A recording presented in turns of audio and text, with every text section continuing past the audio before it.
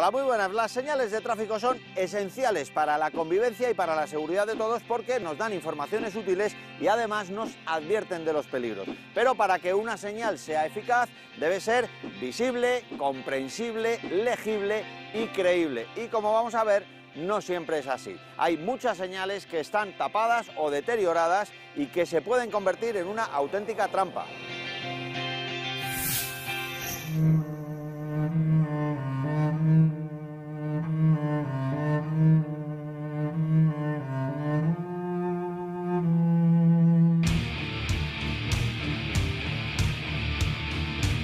Si les pregunto qué ven a mi espalda, seguramente me dirán que un árbol, pero si seguimos andando descubrimos que detrás de estas ramas hay una señal de limitación de velocidad prácticamente inexistente para los conductores que pasan por aquí. Es solo un ejemplo más de cómo la conservación y el buen estado de estos elementos pueden ahorrarnos problemas e incluso salvarnos la vida.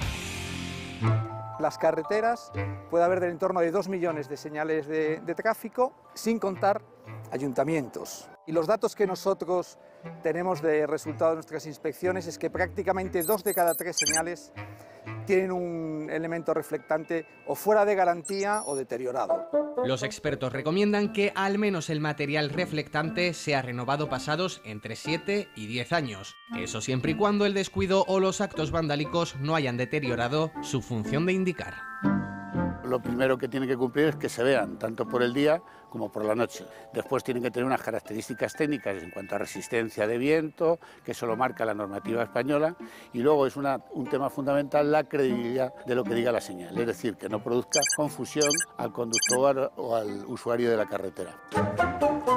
Las señales se ponen única y exclusivamente cuando hay que avisar de algo novedoso con respecto a la trayectoria que uno está llevando, por tanto el no tener capacidad de visualizarla correctamente solo puede generar dos problemas principalmente. Uno, frenazos inesperados o maniobras inesperadas por parte del resto de usuarios. No cualquiera de las dos situaciones provoca peligros, porque evidentemente estas señales van a estar en cruces, van a estar en intersecciones, van a estar en rotondas, van a estar en elementos singulares de la vía y los elementos singulares de la vía es donde más precaución hay que tener a la hora de hacer maniobras que no espera el resto de usuarios.